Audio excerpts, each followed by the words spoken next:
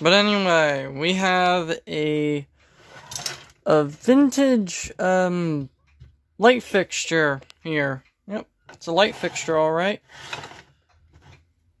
A light fixture with a nice hump on top with that maximum lighting effect. But no, this actually has a different purpose. Probably wondering, what is this for? Well, what are these for? Well, this is a aluminum tree killer wheel. Killer wheel for short. These were used to reflect on uh, aluminum Christmas trees.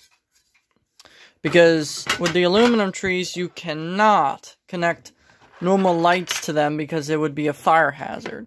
Because the uh, aluminum on the tree is highly freaking uh, conductive. So they designed, they came up with the killer wheel to reflect colored light on the branches, which honestly looks beautiful. And hopefully we can get this thing working. Now, let me uh, plug it in here. Original cord style. Okay, we got it plugged in. Turn it on. Well, you see, the motor still has some life left into it. Very noisy, but it's got life left into it. Now, and the motor is dated 9th week of 1965. So this unit is 57 years old. And the motor is still going. And with normal color wheel, with most color wheels, the motors on these things always go out. So that this one works is quite amazing. Now let's put in a bulb, energy efficient style. How many foxes does it take to screw in a light bulb? Well, apparently only one. only 3,000. Just gotta... Oh my god. Can't you just go in already? Ah, there we go. Prepare for blinding light. Oh yeah. Ah. Showroom beauty. but, um, yeah. Basically, this thing looks like a, just one of those old, uh, yeah, that's exactly what it looks like. It looks like an old wall sconce from like the 50s, and they just attached a motor on top of it, and then uh, had a post with these uh, killer, plastic killer pieces which you assemble, but uh, there's your orange. The 60s, let me uh, shine some orange. There's your orange light, which looks appears to be yellow. Here's your blue light. Oh, so blue. Almost looks like black light. And here's your green. Got the star to mount the light to. You got the uh, brackets.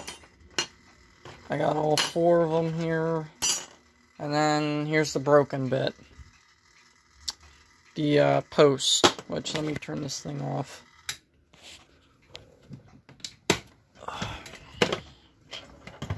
Which you got the post, which, uh, well, if you look, the uh, post has snapped off a long time ago. And it would look like that.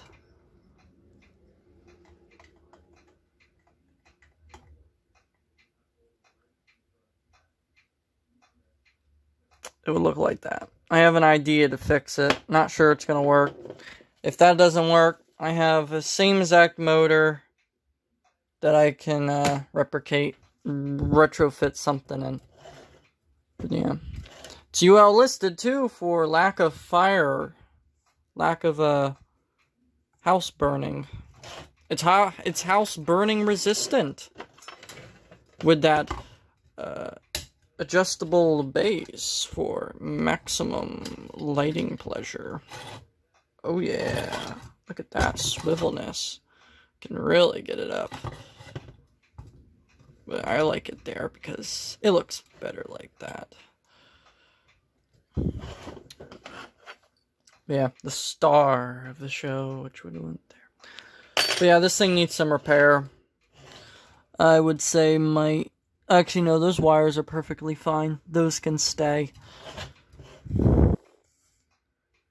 Damn, LEDs get pretty hot these days, but, uh, yeah. Simple unriveting should be able to get that motor out. And I just gotta go under and lightly get these, uh, unclipped. Gotta lightly unclip these so I can get the, uh, motor out. So I could repair it and oil it, because it's pretty noisy. It's not, it's not the worst I've heard. But you're probably wondering, well, Axel, why the fuck would you need one of these if you don't possibly own an aluminum Christmas tree? Well, I own one, but it isn't an original. I'm not paying $500 for a tree that has, like, really fucked up branches. And people can't obviously see past problems and they'll just list it for, like, $500 just because it's vintage. If I was going to sell something and it had messed up branches, I would each individually fix those branches and have it worthwhile, more money, maybe. I don't know. What am I talking about? But uh, yeah, I have an aluminum Christmas tree. I made one. That's all I'm going to say. You'll see it soon. There's an upcoming retro Christmas video coming up with some good Christmas music I found. So, yeah. Well, gonna use the old 1984 drill press. And still works. Well, I soon learned that this was not worth fixing. This motor was just done. I could not get it to drill in the middle. My eyesight is not very good.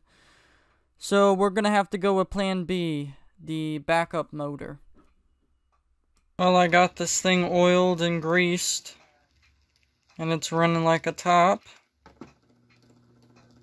So this will replace the original one. So we're going to stop it. And we're going to put it back together. Alright, got the motor on.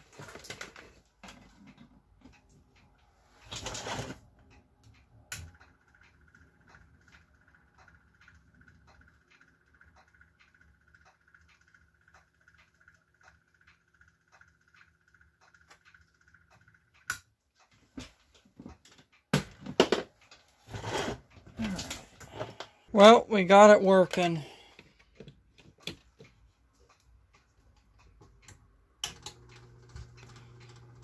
Got it working. As you can see, I had to just stuff some cardboard in there, but that's fine. Nice tight seal. Now I just got to mount the motor with some screws. And uh, there's the killer wheel spinning away. I think it will stop humming if I uh, fasten it down, but let's turn off the light.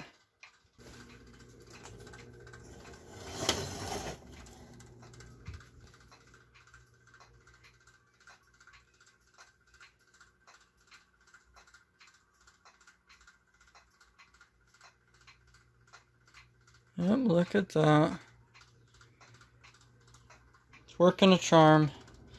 Well, thank you for watching this repair of this uh, 1965. Uh, this is also made by Pentre. Penetray. It's a Penetray uh, made, um, what's it called? It's a Penetray made uh, color wheel. Oh, I also see some dust in there. I gotta clean these things too, the plastic. And then I gotta mount the motor, which... Yeah. Maybe get get a give it a, a bigger bulb with some more brightness. But yeah, thank you for watching this uh, repair. I hope you enjoy. And uh, soon we'll be showing you my homemade aluminum Christmas tree with the 1965 Penetray Keller wheel fixed